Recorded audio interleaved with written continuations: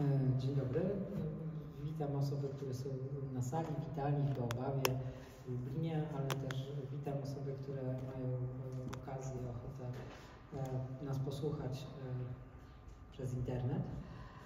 Dzisiaj jest Międzynarodowy Dzień Uchodźców i spotykamy się na rozmowę pod takim tytułem niełatwym, celowo dobranym, używającym tego słowa w takiej formie jak uchodźstwo. E, trudne słowo.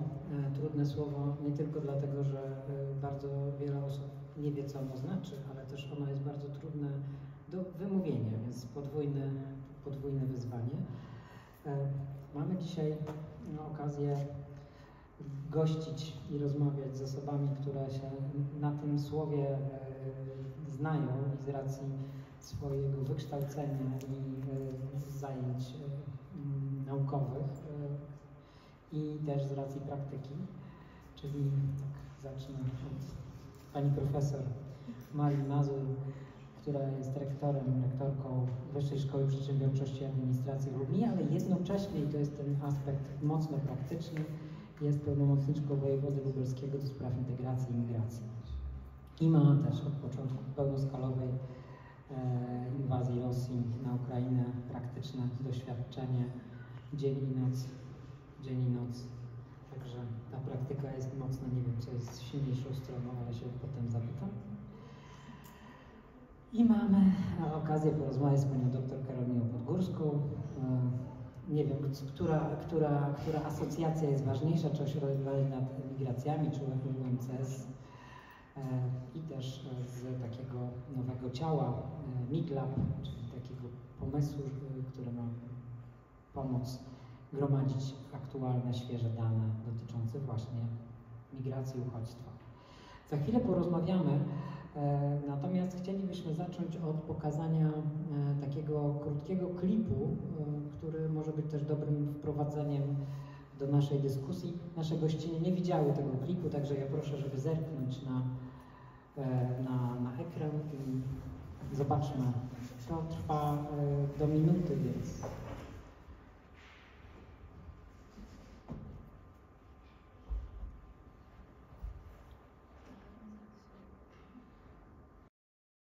Człowiek od początku się przemieszczał, maszerował, szedł, podróżował, uciekał, przeprowadzał się, biegł, odkrywał, wracał, wędrował, eksplorował, wycofywał się, ale zawsze migrował.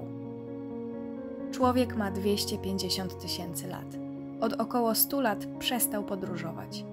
Ogrodził się granicami i z niechęcią, jeśli w ogóle, wpuszcza tych, którzy dalej chcą podróżować. Uchwalona po II wojnie światowej powszechna deklaracja praw człowieka głosi: Każdy człowiek ma prawo opuścić jakikolwiek kraj, włączając w to własny, i powrócić do swojego kraju. Każdy.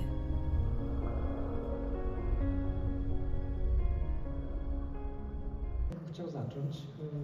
Z tymi migracjami y, jest? Jak jak można by było to zdefiniować i jak to powiązać z tym trudnym słowem uchodźstwo? Pani doktor. Karol Dziękuję. Znamy, po imieniu chyba. Możemy po imieniu. E, to jest pytanie o to, czy my mówimy o migracji, czy my mówimy o uchodźstwie rzeczywiście, o takiego rodzaju migracji, e, jakimi są migracje uchodźcze, bo jest to jeden z rodzajów migracji. No i zawsze się mówi, że każdy uchodźca jest migrantem, nie każdy migrant jest uchodźcą.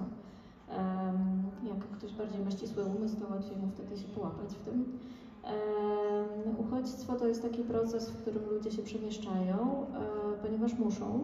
E, przy czym tak naukowo do tego podchodząc, dzisiaj też pojawiają się takie trendy e, w naukach socjologicznych, na przykład społecznych, które ja reprezentuję, żeby nie mówić raczej o migracjach przymusowych, a nawet wymuszonych, tylko o tak zwanych migracjach proaktywnych i reaktywnych. I wtedy te migracje E, reaktywne to będą takie, które są reakcją na coś zewnętrznego, co nas no, w summa summarum zmusza do tego przemieszczania się, e, no ale i po prostu nie jest naszym wyborem. Czy, nie, czy naszym pierwszym wyborem, czy tym, co byśmy na pewno chcieli. Taka, takie definiowanie też nam pozwala szerzej spojrzeć na uchodźstwo, bo oczywiście możemy na nie patrzeć w takim najbardziej klasycznym, no nie powiem, że wąskim rozumieniu, najbardziej klasycznym i prawnym rozumieniu. Uchodźca to jest ktoś, kto ma status uchodźcy, to znaczy otrzymał odpowiedni dokument, o który zawnioskował, na podstawie określonych powodów przyznano mu ten status. Oczywiście, że w języku potocznym E, używamy słowa uchodźca na określenie osoby, która się przemieszcza, tak jak było, bo musi, tak jak było pokazane tutaj. Natomiast oczywiście w sensie prawnym osoby, które, się, które przekroczyły granice e, w jakiś sposób, bo musiały, bądź też takie, które się w ogóle na tej granicy znalazły, to tak naprawdę prawnie jeszcze osobami, jeszcze uchodźcami nie są. Natomiast w rozumieniu potocznym jak najbardziej, no bo to trudne słowo w języku polskim uchodźstwo bierze się od chyba starodawnego czasownika uchodzić, czyli uciekać po prostu. Więc są to osoby, które uciekają. No i zgodnie z tą definicją taką prawną, w cudzysłowie powiedziała wąską, e, uchodźca to jest osoba, która e, posiada ten status, który jej został e, przyznany na podstawie tak zwanej konwencji genewskiej, czyli dokumentu, który jest najważniejszym dokumentem prawa humanitarnego ochrony osób, które się przymusowo przemieszczają. To jest dokument z 1951 roku, czyli stary, mm, ale dobrze, że jest, chyba tak bym go określiła, bo rzeczywiście e, bardzo dużo dobrego ten dokument robi. Ma też swoje wady. E, natomiast podstawowa kwestia, która tam jest poruszona, to jest definicja uchodźcy i to jest osoba, która, się, e, która musiała opuścić swoje miejsce mm, zamieszkania, dlatego że istniało zaistniały takie fakty, albo istniała obawa, że takie fakty zaistnieją, fakty, które będą sprawiały, że tej osobie coś grozi dla jej życia lub dla jej zdrowia i jest pięć przyczyn, które się tam mogą wydarzyć. To, jest, e, to są powody, to jest, to jest rasa, religia, narodowość, poglądy polityczne i przynależność do określonej grupy społecznej. No i to jest te pięć powodów na, na 1951 rok więc e, oczywiście też mówi się o tym, że konwencja pewnych powodów e, nie przedstawia, na przykład nie mówi o płci jako przesłance prześladowania. No, w dzisiejszych czasach też się dużo mówi o tym, że tam nie są uwzględnione na przykład migracje klimatyczne, które też mogą być oczywiście i są traktowane jako migracje przymusowe i wiemy, wszelkie dane wskazują, że będzie, e, że tutaj statystyki będą rosły w tym zakresie już w, na przestrzeni najbliższych kilkudziesięciu lat. E, natomiast no, te powody, które są wymienione, są jakimś katalogiem zamkniętym e, i oczywiście na przykład z tego katalogu przynależności do określonej grupy społecznej można sobie wyrozumować różne inne powody prześladowań, ale zawsze to, jeśli coś nie jest powiedziane wprost, to wymaga wykonania pewnej pracy, na którą oczywiście nie każdy znajdujący się w tej trudnej sytuacji e, ucieczki jest w stanie sobie pozwolić i ma takie możliwości, żeby w ogóle do tego dojść. Natomiast konwencja wydaje się no, potrzebnym dokumentem, który rzeczywiście jakoś definiuje i porządkuje te sprawy, e, ale ja bym zwracała uwagę na to, że w tych wszystkich kwestiach dotyczących zarówno uchodźstwa, ale w ogóle szeroko migracji, e, w zasadzie język, którym się posługujemy, ma ogromne znaczenie. E, w związku z czym to, że my potocznie używamy tego określenia, to jest takie dominujące chyba, że mówimy o uchodźcach jako osobach, które po prostu musiały przed czymś uciekać i zwróciły się o ochronę w innym państwie niż w tym, w którym mają swój dom. To ja y, zapytam wprost, bo w tych przesłankach nie ma wojny. Czy, czy można dostać status uchodźcy z powodu toczącej się w kraju wojny? Oczywiście, że można, no bo jest to związane z zagrożeniem życia i zdrowia z powodów politycznych. No można, trzeba to jakby wydedukować z tych innych, prawda? No właśnie, bo to są powody, powody polityczne, ale w innym kraju. Bo teraz patrząc na sytuację ataku Rosji na Ukrainę, to ludzie nie uciekają z powodów politycznych w Ukrainie, tylko uciekają z powodów politycznych e, w Rosji, e, które doprowadziły do, do bezprawnego ataku na inne państwo. Więc to jest takie.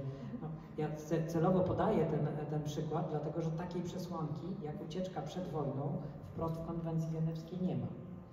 Tak, to konwencja była stworzona jako dokument, który był odpowiedzią na procesy w drugiej połowie XX wieku, powojenne procesy. Więc e, tam pewne rzeczy po prostu nie zostały uwzględnione, bo ona miała załatwiać jakby sprawę przesiedleń powojennych, przemieszczania się ludności w tamtym okresie. W związku z czym e, to jest zastanawiające, że ona do tej pory jakby jest taka, jaka jest. E, żyjemy trochę już w innej rzeczywistości i faktycznie tam wielu rzeczy brakuje. Oczywiście to nie jest tak, że status uchodźcy, który można otrzymać na podstawie konwencji genewskiej, to jest jedyna forma ochrony międzynarodowej w prawie humanitarnych, bo tych form jest dużo więcej. Są, z jednej strony są instrumenty takie międzynarodowe, ochrony osób przymusowo przemieszczających się, ale są też formy ochrony krajowej. No i przykładem takiej formy ochrony krajowej jest chociażby specustawa z 22 e, roku, teraz nowelizowana, zmieniona niedawno, e, która jest taką ochroną tymczasową krajową, czyli kraj w przypadku, kiedy no, jakaś sytuacja się zadzieje niezwykła, taka jak tutaj konflikt na, na dużą skalę i masowy um, napływ, chociaż ja muszę przyznać, nie lubię tego słowa napływ i w ogóle nie lubię tych metafor wodnych, tak, fala, napływ, przepływ, um, zalew w tym negatywnym um, Możemy do tego za chwilę wrócić, tak? ale zostańmy jeszcze w tym prawie, e, czyli e, jest kilka form ochrony międzynarodowej, natomiast jeżeli byśmy mieli sprawdzić, ile osób, które uciekły, musiały uciekać ze swojego kraju mm, w, w obawie o swoje bezpieczeństwo, zdrowie, życie, ma status uchodźcy, na przykład w Polsce w tej chwili, to, to jest dużo czy mało? Ja nie pytam o konkretne, super, super dokładne liczby, ale no tak raczej wszystkie, e, połowa, czy na przykład 1%. E, no w porównaniu do tych osób, które z takich przesłanek uciekały, że ich życie było zagrożone, oczywiście, oczywiście status uchodźcy ma bardzo mało osób. E, to, że na przykład w stosunku do osób uciekających z Ukrainy znalazła zastosowanie ta specustawa sprawiło, że ponieważ, ponieważ oferta, że tak się wyrażę, może niezbyt starannie, e, która była w tej ustawie zawarta, była szersza niż to, co jest oferowane w ramach statusu uchodźcy de facto, co przysługuje tym osobom, które ten status pozyskują, e, no to oczywiście wiele osób się nie starało o status uchodźcy, tylko korzystało rzeczywiście z specustawy. Ja jeszcze dodam jedną rzecz, że w przypadku e, starania się o status uchodźcy, no to jest długa procedura, często wielomiesięczna, jeśli nie wieloletnia, no i jest, e, to, to, mm, to jest rozpatrywane indywidualnie. I prawdopodobnie państwo polskie zdecydowało, że nie jest w stanie milionów ludzi zatrzymać, sprawdzić, e, rozpatrzyć wszystkich wniosków indywidualnie, dlatego wymyślono inną, inne narzędzie, żeby, żeby osoby uciekające z Ukrainy e, przed Rosją, a nie przed Ukrainą, to ważne, lubię to dodawać, żeby było wiadomo, kto tutaj jest sprawcą, e, no, żeby pomóc ludziom. Nie użyto tego e, mechanizmu z konwencji genewskiej. To, to też trochę świadczy o tym, jak, jak dobry albo niedobry jest ten mechanizm. Znaczy, y, może nie wiem, czy to jest dobre słowo, że nie użyto, po prostu ludzie z niego nie skorzystali, bo oczywiście każdy mógł. Natomiast e, rzeczywiście procedura zgodnie z przynajmniej zapisami w Urzędzie do Spraw Cudzoziemców teoretycznie powinna trwać 6 miesięcy maksymalnie. Wiemy, że to bywa różnie e, i wiemy, że to w takiej sytuacji jest po prostu w ogóle niewykonalne. Trzeba było zadziałać szybko. To nie jest też oczywiście tylko rozwiązanie stosowane w Polsce. No, przykładem na szerszą skalę jest oczywiście dyrektywa ochrony tymczasowej, która za, też pierwszy raz zadziałała w chociaż to był dokument, który już leżał w szufladzie od dawna i, i, takie rozwiązanie było gotowe, ale nie zastosowano go na przykład w 2015 roku. Bardzo dziękuję. Ja tak chciałbym zapytać o sytuację y, na, na Lubelszczyźnie, bo tutaj mamy najwięcej Lublinie, na Lubelszczyźnie. Także jak się ma ta teoria status uchodźcy do ilości osób i y, no, bo przecież mówimy o osobach, które po 24 lutego 2022 roku znalazły miejsce schronienia lepsze czy gorsze w naszym kraju, czy, czy w województwie, czy w mieście, my używamy słowa uchodźcy. To jak to wygląda w praktyce? To może ja, e, Piotrze, pozwolę sobie, przeczytam tą definicję z konwencji genewskiej. Myślę, że w związku z tym, że mamy dzisiaj Światowy Dzień Uchodźcy, jest to niezmiennie, niezmiernie ważne.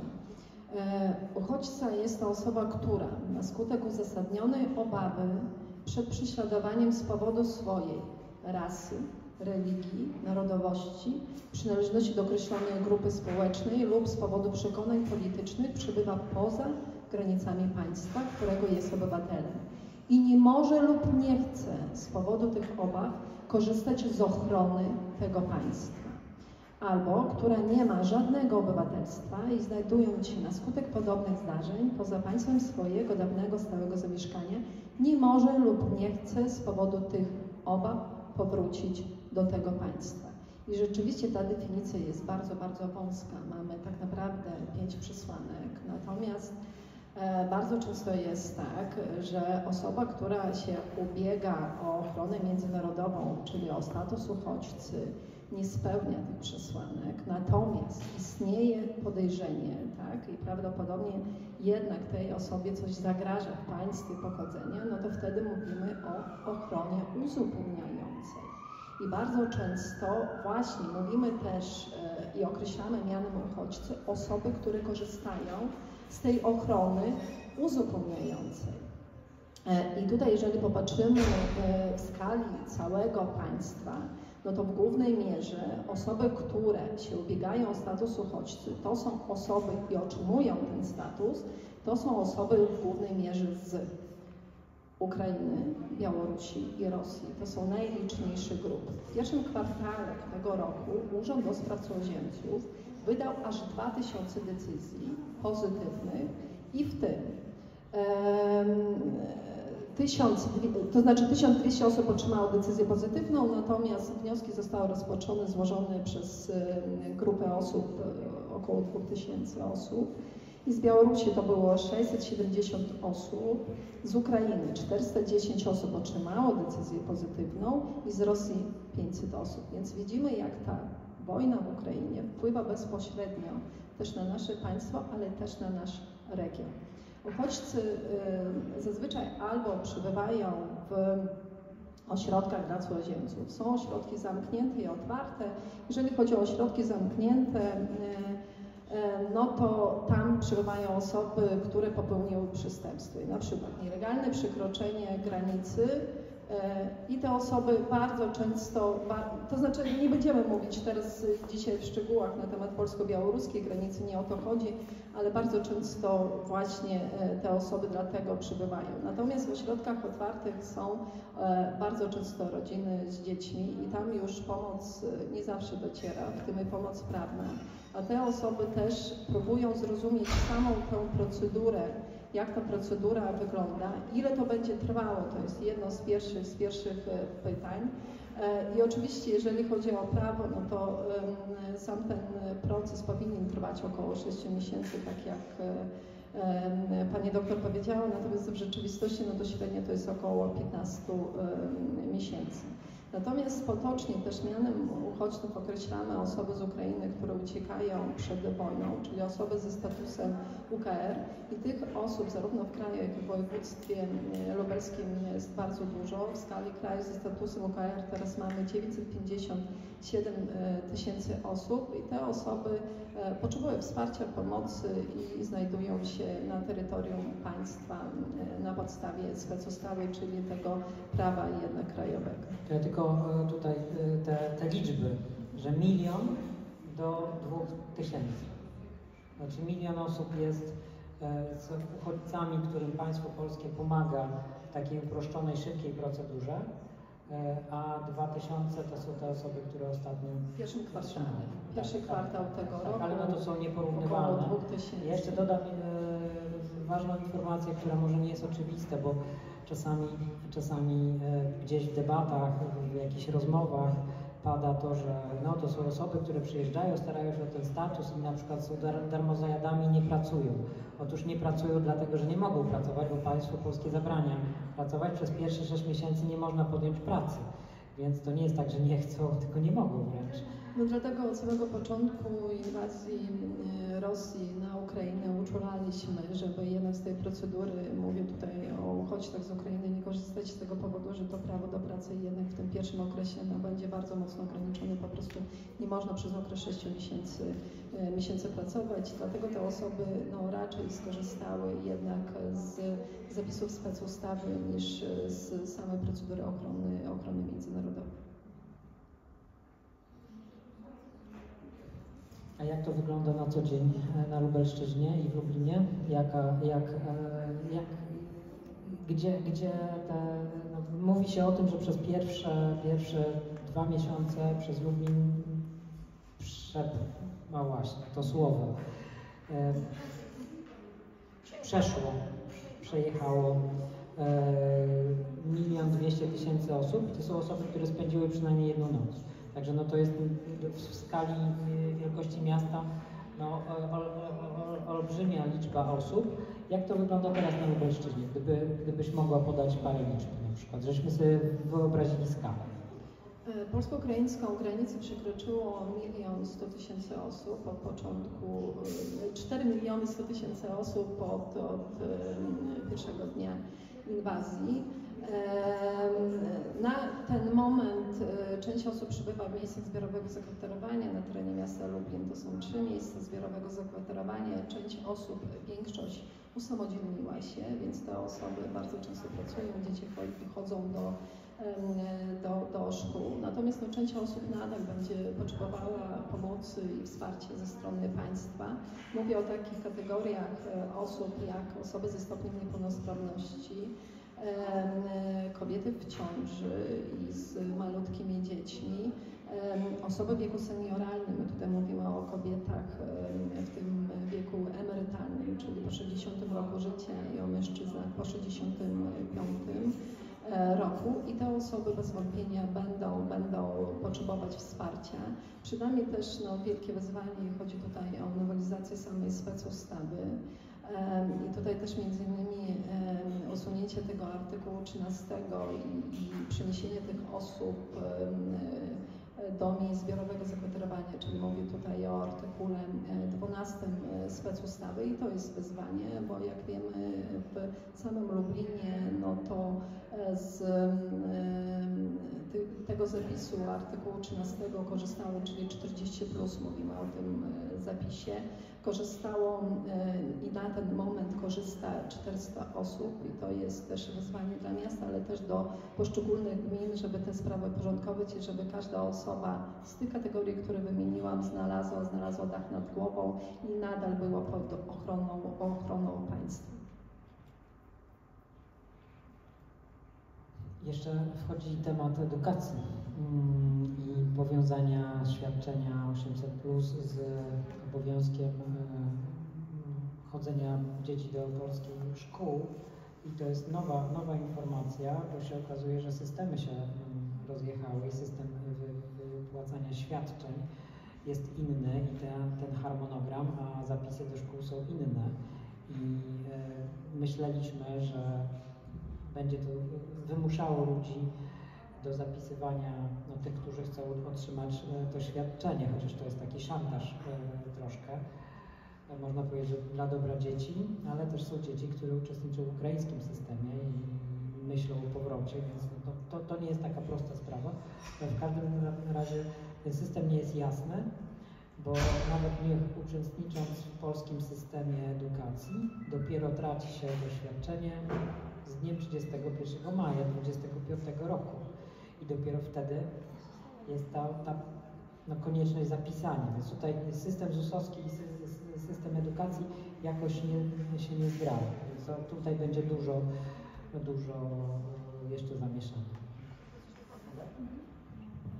A propos, mi się wydaje, że tam jest jeszcze jeden problem, e, który jest związany z tym, że ponieważ Ludzie mogą wybrać, czy te dzieci będą chodziły do szkoły, czy też nie będą, no więc jak będą chodziły, to będą świadczenia, jak nie będą chodziły, nie będzie świadczeń. Tylko to taki sobie wybór, no, czy mieć tak, pieniądze, tak, czy nie. Ale to wciąż nie jest obowiązek szkolny, co oznacza, że dla szkół zawsze jest jakiś wydrych, żeby powiedzieć, nie musimy przyjąć tych dzieci.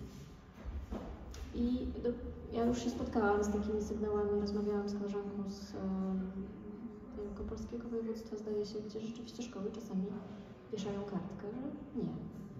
No bo przecież muszą. A z drugiej strony mamy e, powszechną deklarację praw człowieka, która mówi i potem systemy twarde, międzynarodowe i krajowe, mówiące o tym, że nie, nie tylko jest prawo do edukacji, ale obowiązek edukacji, że każde dziecko w trosce o jego prawa człowieka musi chodzić do szkoły, żeby się nauczyć e, funkcjonować w społeczeństwie, w życiu, żeby mieć wiedzę, żeby sobie móc poradzić. Także no, to, są, to są bezwzględnie no, istotne rzeczy, więc e, chyba możemy skomentować, że my bardzo kibicujemy temu, żeby każde dziecko chodziło do szkoły. Natomiast w którym systemie, no to to już jest robota państw, żeby się dogadało. E, bo z jednej strony mamy dzieci bardzo mocno obciążone, czyli dzieci, które chodzą, uczestniczą w tym systemie edukacji ukraińskim, ale też chodzą do polskiej szkoły, więc zaliczają tak podwójnie trochę tę e, szkołę. Z drugiej strony mamy bardzo dużo i w szczególności tutaj, jeżeli chodzi o grupę nastolatków, dzieci, które nie uczestniczą w ogóle w żadnym systemie edukacji. I tutaj jest e, problem. Rzeczywiście od 1 września no to, to, to, to świadczenie będzie uzależnione od e, obowiązku szkolnego albo od tego, czy dziecko chodzi do placówki e, przedszkolnej. Bez wątpienia więcej dzieci pójdzie do polskich szkół od 1 września. Problem z zapisami i tak dalej, ale myślę, że to jest kwestia taka techniczna i, państwo, państwo z tym poradzi. Natomiast ten temat się pojawia w dyskursie społecznym, ale też politycznym od samego początku wybuchu wojny w Ukrainie. W jaki sposób uzależnić dziecko, obywatela innego państwa w jaki sposób e, zmusić do tego, żeby uczestniczył prawda, w systemie edukacyjnego. I więc na poziomie rządowym, czyli e, dwóch, e, rządów dwóch państw, mówię o Ukrainie i o Polsce, no nadal ta kwestia nie jest, nie jest rozstrzygnięta. Jest to pewna próba uzależnienia tego świadczenia, żeby sobie poradzić z tą sytuacją, że dzieci po prostu wypadają z systemu edukacji. Natomiast no, 1 września pokaże. Albo 1 czerwca, bo to wtedy będzie ten moment, kiedy rzeczywiście to wejdzie w życie. Nikt nie straci, to też może warto powiedzieć, że nikt nie straci tego świadczenia ani we wrześniu, ani w październiku, ani w listopadzie, ani w styczniu, lutym, marcu, kwietniu, maju. I dopiero pierwsze osoby, które stracą świadczenia, to będzie 1 czerwca. Ale myślę, że też no, taką pozytywną kwestią to jest yy, fakt, że od 1 września pojawią się asystenci międzykulturowi w szkołach. I to już jest taki, taki, taki sukces. I ten asystent międzykulturowy... To na to czekaliśmy od na to czekaliśmy, myślę, pokolenia. Więc, więc żeby, żeby trochę też temat. pozytywnych rzeczy wybrzmiało, to jest yy, ważne, gdyż no, Polska staje się jednak państwem yy, imigracyjnym zmienia się społeczeństwo polskie, mamy, mamy nowych mieszkańców w mniejszych i większych miejscowościach, więc ja myślę, że to, to, to jest ważne pod kątem też integracji. No dobrze, dzisiaj wyszły badania, e, opublikowano nowe badania e, dotyczące postrzegania, postrzegania uchodźców i używano słowa uchodźca. Nie wiem, czy w ankiecie była definicja, ale podejrzewam, że nie było. I wyszło tak, że 49% ankietowanych Polaków i Polek jest za przyjmowaniem uchodźców do Polski. E, można powiedzieć, że nie jest to jakoś bardzo dużo, ale z drugiej strony, no, e, nie jest też e, no, dla innych państw źle. Natomiast dużo ciekawsze są pewne bardziej szczegółowe informacje, ponieważ rozbito to, tą kategorię na obywateli państw sąsiednich, czyli przede wszystkim Ukrainy i Białorusi. I 35% mówi, że tak, ale tylko z tych krajów. Natomiast 14% mówi tak z całego świata. Więc my mamy już takie podwójne standardy i to bardzo dobrze widać na właśnie y, dwóch granicach. Granica polsko-białoruska i ten y, wielo, już ponad trzyletni kryzys y, na granicy polsko-białoruskiej pokazuje, że no mamy w Polsce E, coś, co można by było nazwać rasizmem instytucjonalnym, to znaczy, że kolor skóry, miejsce pochodzenia, wyznawana religia decyduje o, o tym, czy ta osoba ma szansę na pomoc y, państwa polskiego, czy nie. Bo granica polsko-ukraińska pokazuje, że jesteśmy w stanie przyjąć i te badania mówią, że 75% Polaków pomagało osobom z Ukrainy. Moim zdaniem to jest takie bardzo, y, bardzo zawyżone, bo ta pomoc była w dużej mierze e, niesiona na, na barkach osób z Ukrainy, które pomagały innym osobom z Ukrainy. E, no ale, ale rzeczywiście był społeczny, społeczny ruch. Natomiast jeżeli popatrzymy na granicę polsko-białoruską, no to już te standardy się zupełnie zmieniają, a jak tutaj dwukrotnie była przywoływana definicja uchodźcy, no to i jedne, jedna i druga kategoria osób e, no, wypełnia te, te przesłanki, natomiast polityka państwa jest zupełnie inną. Także ja chciałbym, e, korzystając z tego dzisiejszego dnia, e, no, jednak o tym wprost mówić, że no, jednego standardu nie mamy. Że, ale to widać w badaniach, w badaniach opinii i być może politycy czy obecnej, czy poprzedniej władzy no, czytają takie, takie badania i zgodnie z tymi badaniami postępują. No nie będzie buntu, jeżeli się nie będzie przyjmować ludzi uciekających przed wojną, prześladowaniami z Syrii czy z Afganistanu, a już w przypadku Ukrainy z powodu bliskości kulturowych i, i, relacji, gdyby zamknąć granice, to może społeczeństwo by się zbuntowało. Więc tutaj no, politycy, oczywiście mówię jako politolog, e, no, decydują e, tak jak chcą ich wyborcy, więc no, tutaj to odbicie widać, chociaż zapętlenie jest w drugą stronę i to mój komentarz, że że też politycy kształtują, kształtują poglądy polityczne ludzi, bo na przykład mamy bardzo też ciekawe w tych badaniach wyniki mówiące o tych, e, o sympatiach politycznych i wpływie na otwartość na przyjmowanie innych. No nie będę omawiał szczegółowo badań, bardzo, bardzo ciekawe, zachęcam do, do spojrzenia, ale też przed spotkaniem rozmawialiśmy o to, kogo, kogo i jakie grupy by chciały przyjmować. I, i padło, padło z Twoich ust e, hasło o tym, że to z powodów ekonomicznych. Czy możesz to rozwinąć, jak w badaniach, no nie tylko tych, ale w ogóle ta sytuacja otwartości na przyjmowanie, z czym ona jest powiązana? No myślę, że to jest powiązane ze strategią polityczną, jakkolwiek ona by była, albo by jej nie było zdefiniowana wprost, albo nie. No to jakiś pomysł na to, jak my się mamy rozwijać i w jaką stronę mają działania w zakresie migracji iść, jest zawsze.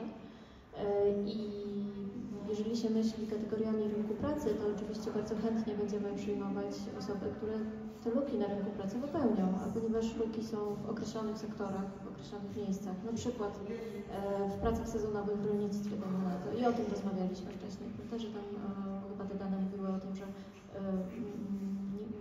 chcemy, rolnicy nie chcą tak przyjmować. Że osoby z małych e, miejscowości i ze wsi generalnie są najbardziej osobami niechętnymi przyjmowania uchodźców, ale z kolei rolnicy chyba ponad 70 czy 75% chcą, ponieważ e, tak, no bo jest to związane z tym, że można zatrudnić, tak. No i to jest kwestia ustalenia też takiego, ty mówisz o, o, o rasizmie instytucjonalnym, ja bym powiedziała takiej schizofrenii trochę, która jest w wielu obszarach widoczna, no nie tylko w podejściu do granic obu które mamy teraz, ale właśnie na przykład w takim myśleniu, tak, z jednej strony otwieramy się na rynku pracy, zapraszamy pracowników, wprowadzamy uproszczone procedury, na przykład skierowane do przedstawicieli, reprezentantów tylko kilku państw, tak jak działa e, przecież już od paru lat odpowiedni przepis, e, ale z drugiej strony mówimy o tym, że uchodźców nie broń Boże nie przyjmujemy, tylko e, też mi się to wydaje, że te badania, które teraz e, e przywołujesz, aktualne, e, po pierwsze to, to wsparcie, to poparcie dla przyjmowania uchodźców w ogóle jest chyba niskie, dlatego że z czasów, kiedy rozpoczął się, rozpoczęła się pełnoskalowa wojna w Ukrainie, to te słupki były na poziomie 70-80%. Bo jeżeli 75% ludzi de deklaruje, że pomagało fizycznie, w sensie materialnie, czy, czy gościło, czy, mhm. Czy w jakiś sposób inny było zaangażowane w pomoc e, osobom e, z Ukrainy, a teraz 49 tylko jest za przyjmowaniem, no to to dosyć sporo, no, sporo spadło. Więc, więc w ogóle to jest niski tak. poziom. Ja tam też zdążyłam tylko zerknąć na te badania, wydanie, widziałam takie rozdźwięki w zakresie e, tego, co byśmy dopuścili jakby, to znaczy tak, z jednej strony duża niechęć wobec, tak bym to powiedziała, duża jednak niechęć, czy wzrastająca niechęć wobec przyjmowania uchodźców, z drugiej strony nie mamy nic przeciwko, żeby cudzoziemiec był e, kimś gdzieś blisko w naszym otoczeniu. I to jest, to jest też schizofrenia.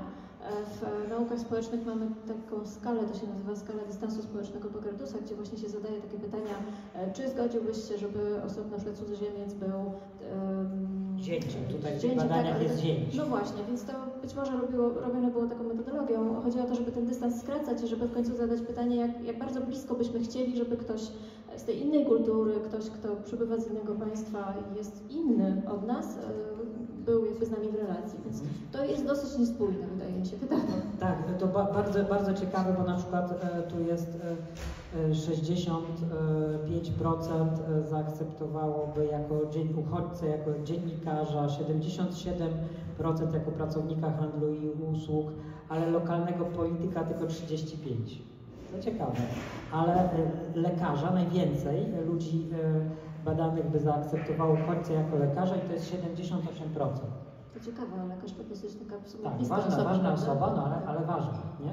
Może, może, e, może e, jest nadzieja. E, Albo czy jako zięcia 64, jako sąsiada 75, także całkiem nieźle. Czyli ta- ta ogólna 75% społeczeństwa mówi, żeby zaakceptowało jako sąsiada, no wolałbym 100%, ale bo No, to ale też to są wysokie wskaźniki. Tak, A ale- ten całościowy jest jakiś taki, może to jest pytanie źle zadawane, czy jesteś za przyjmowaniem uchodźców? Bo kto kim jest ten uchodźca? Tak, no właśnie, mamy tutaj różne... kolegą, koleżanką z pracy. E, akceptacja sąsiada. Ja na przykład mam e, takich sąsiadów e, z Polski, których bym nie zaakceptował, no ale to nie jest kwestia bycia uchodźcą czy nie, tylko wielu innych cech i powiązań. E, ja bym tak patrzę, patrzę na Państwa, może ktoś z Państwa ma jakąś e, ochotę skomentowania, zapytania. Tak, ja mam. Ja bym się chciała tylko odnieść do jednej rzeczy, e, która, e, którą powiedziała koleżanka Maria i muszę, muszę po prostu to powiedzieć. Ja się nie zgadzam totalnie z tym, że osoby, które popełniły przestępstwo znajdują się w ośrodkach zamkniętych, między innymi, natomiast to jest rzadkie. Nie do końca zgadzam się z faktem, że przekroczenie granicy nielegalne jest przestępstwem. Kiedyś tak nie było i jeżeli mówimy o uchodźcach, to oni nie mają jak legalnie przekroczyć, zwłaszcza granicę polsko-białoruską, gdzie nie ma już punktów, do których mogą się zgłosić. Jestem totalnie przeciwna. E, I uważam, e, jeśli mam powiedzieć szczerze, że e, w Polsce detencja jest nadużywana, nadużywana totalnie.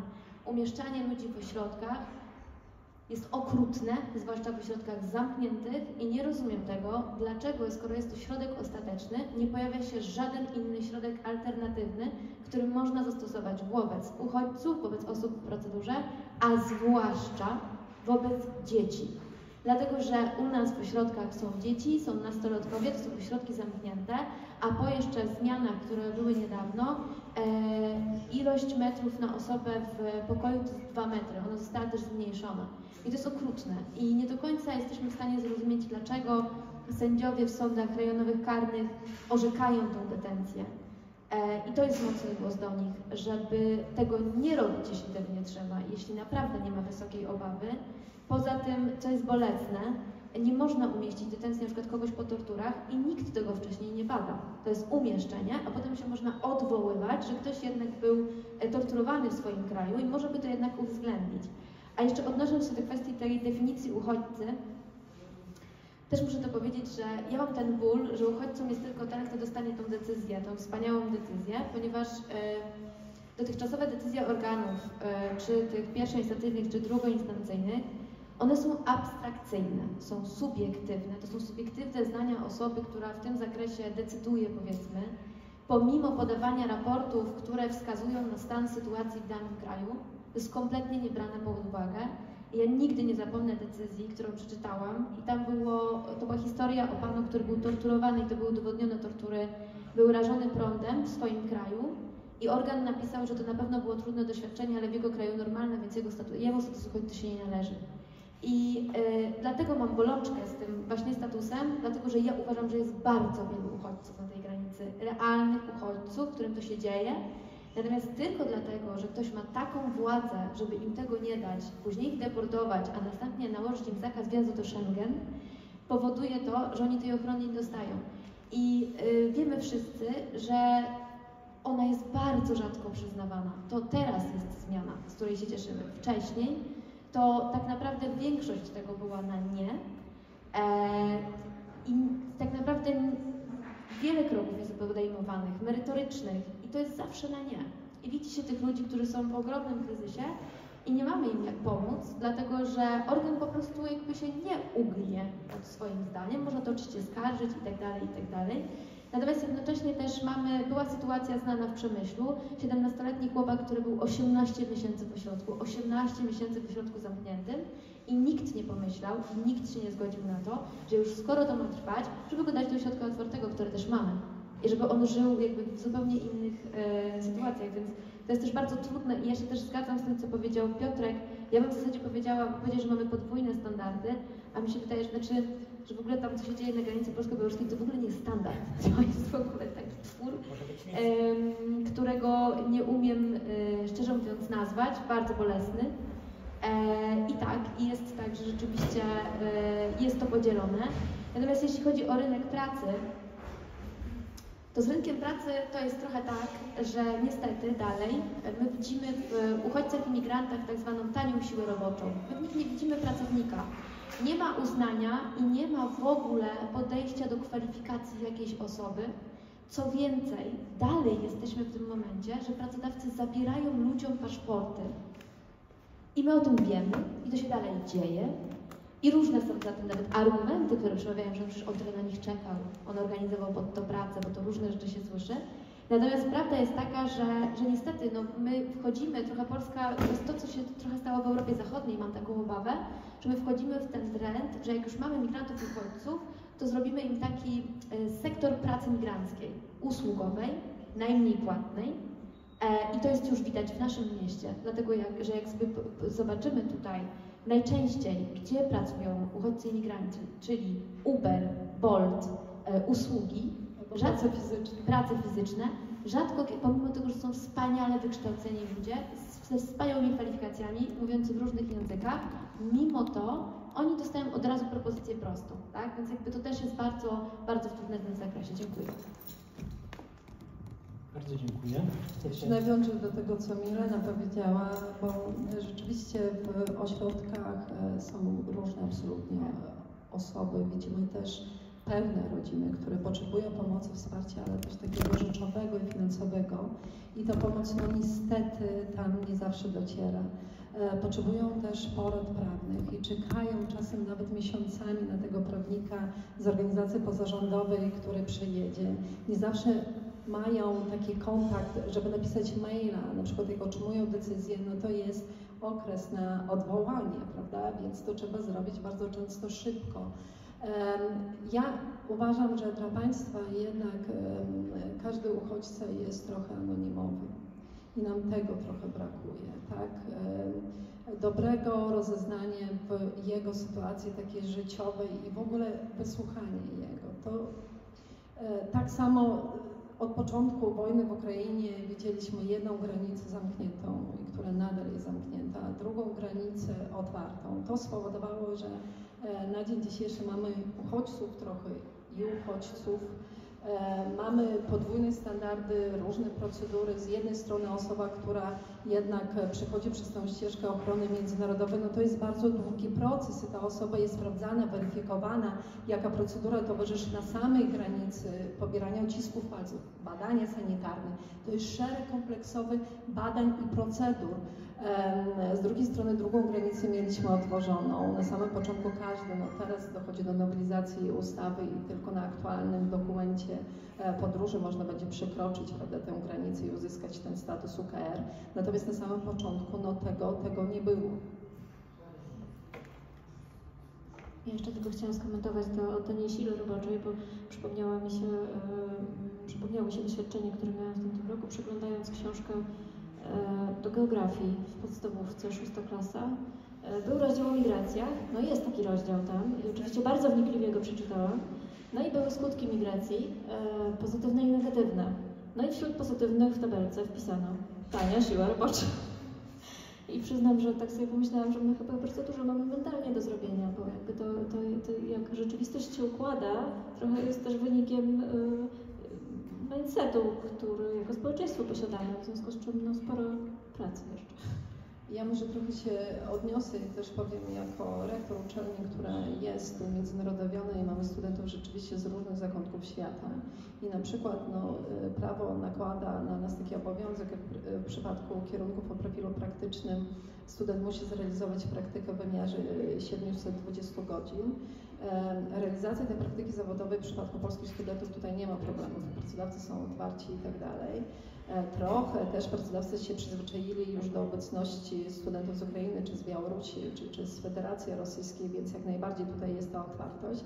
Natomiast problem się pojawia wtedy, kiedy ja muszę studenta anglojęzycznego, pochodzenie, nie wiem, albo pochodzi z Indii, albo z Afryki, skierować na praktykę zawodową i tutaj już nie ma otwartości. Już pomijając samą znajomość języka angielskiego i w jaki sposób funkcjonują przedsiębiorstwa, firmy, instytucje, to tutaj powiem tak, my się spotykamy z taką niechęcią, a nawet czasem stwierdzeniem wprost, którego regionu świata e, wolałbym mieć praktykanta.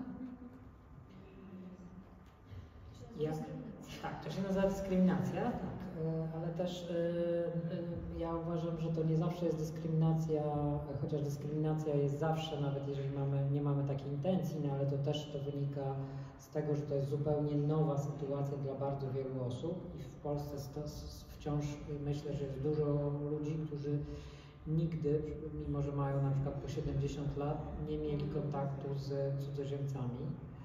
E, Poza tymi jakimiś spotkaniami gdzieś w miejscach publicznych, czy, czy właśnie w sklepach, czy gdzieś, więc mamy bardzo, bardzo dużo jeszcze do zrobienia i, i e, ja trochę nawiążę do tego e, klipu, który pokazywaliśmy na początku, że jak popatrzymy na te mm, 250 tysięcy lat historii ludzkości, to ta migracja, przemieszczanie się była zawsze, że ten ruch e, w poszukiwaniu nowego miejsca, roz, rozrastania się ludzi, zmian klimatycznych itd., itd. jest totalnie naturalne. Nie? Naturalne jest postawienie słupków i odcięcie się e, drutem i powiedzenie, że ponieważ ty w tej wsi e, żyjesz e, po tej stronie rzeczki, a nie po tej, to będziesz w lepszym świecie albo w gorszym. Albo nienaturalne jest pozwolenie milionom ludzi na umieranie czy, czy życie w, ośrodkach dla uchodźców, często drugie albo i nawet trzecie pokolenie, bez jakiejkolwiek szansy na zmianę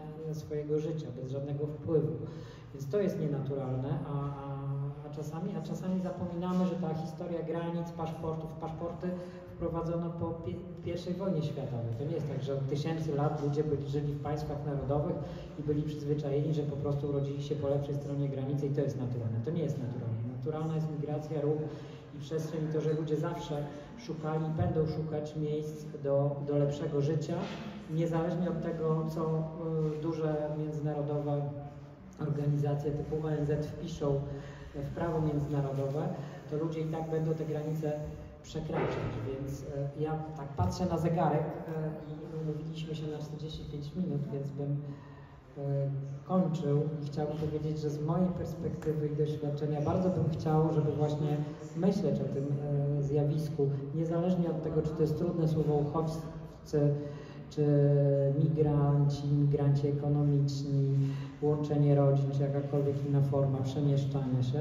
żeby myśleć po prostu o, o, o, tych, o tych ludziach jako o ludziach, o sąsiadach miłych, niemiłych, e, dobrych, niedobrych, bo no, to, to wynika z tego, że jesteśmy bardzo różnorodni i powinniśmy mieć szansę na, na szukanie dobrego, bezpiecznego miejsca na Ziemi. Jak robimy coś złego, no to oczywiście powinniśmy ponosić konsekwencje, ale to nikt nie robi czegoś złego dlatego, że jest uchodźcą, tylko robi dlatego, że jest kimś złym. E, I kończąc to nasze spotkanie, dziękując, chciałbym poprosić o jakąś taką refleksję na przyszłość. Super by było, gdyby się udało jakąś nadzieję e, w tym wszystkim znaleźć. Super by było trochę tak e, usiąść i chyba pogdybać, jak chcemy, żeby wyglądało nasze miasto, czy miejscowość, czy wieś za e, 10-20 lat. Em, W którym miejscu jesteśmy, kto jest naszym sąsiadem, e, jak ta polityka migracyjna i azylowa ma wyglądać, nie przynosić tych modeli z innych państw, bo to bardzo często nie pomaga, bo My jesteśmy zupełnie innym regionem, ze swoją specyfiką. Też jesteśmy regionem przyfrontowym i te procesy, które się dzieją za jedną i za drugą granicą, mają bezpośredni wpływ tu em, na nas, na nasze funkcjonowanie. Ale bez wątpienia, jeżeli mówimy o integracji, trzeba to robić w sposób taki partycypacyjny. My nie możemy decydować o losie i o życiu tych osób, czyli nowych mieszkańców, bez wysłuchania ich głosu. Dziękuję. To ja bym tylko chciała, odnosząc się do tego, co powiedziałeś, żeby patrzeć na e, migrantów jako naszych sąsiadów, osoby, które mają prawo się przemieszczać i tak ja bym chciała zasugerować, żeby na migrantów patrzeć jak na siebie. To znaczy e, po prostu my się też możemy przemieszczać i też możemy być uchodźcami, nie daj Boże. Kartę. E, Ja zawsze studentom swoim mówię, kiedy mamy zajęcia dotyczące uchodźstwa i różne mają miny, kiedy o różnych sprawach rozmawiamy i, i mówię im, no po prostu wyobraźcie sobie, że jesteście w takiej sytuacji, bo dlaczego nie? To się zawsze może zdarzyć, w związku z czym zastanówcie się, jakie byście mieli wtedy potrzeby i no, trudno sobie wyobrazić, jak byście się czuli. A co do, co do planów na przyszłość, ja jestem wciąż y, optymistką, idealistką w zakresie nowej strategii migracyjnej. Mam nadzieję, że jednak y, uda się ją stworzyć, y, ucząc się na błędach, które się już popełnia, na błędach, które popełnili inni. Na y, trochę wytłumaczenie tego, co się dzieje w państwie, bym y, powiedziała tylko, że my jesteśmy w strasznie dynamicznych procesach. To znaczy ta zmiana salda migracyjnego to jest naprawdę, no, ostatnie dziesięciolecie to nie jest dużo. To, co A tak wydarzyło się... e, Tłumacząc, co to jest zmiana salda. No, że więcej ludzi do nas przyjeżdża niż od nas wyjeżdża, co było typową specyfiką Polski przez stulecia. I naprawdę żyjemy w bardzo ciekawych czasach, e, ale one są bardzo wymagające. To, co się wydarzyło w Europie Zachodniej na przestrzeni 40 powojennych lat, u nas się dzieje bardzo, bardzo szybko i teraz, więc e, trzeba sobie trochę dać też może takiego zapasu w tym wszystkim. To ja, to ja skończę cytatem, e, który tak często jest przywoływany, jak to państwa Europy Zachodniej miały taki pomysł, że brakuje im ludzi we w fabrykach, więc otworzyli e, granice dla, dla, dla ludzi i e, cytat brzmi e, pod, zaprosiliśmy siłę roboczą, a przyjechali ludzie. E, Więc może myślmy o wszystkich migrantach, niezależnie od powodu, celu i statusu, jako ludziach. Może będzie nam łatwiej indywidualne relacje budować i się jakoś na tym świecie coraz gęstszym pomieścić. Bardzo dziękuję. Dziękuję za obecność, dziękuję za pytanie.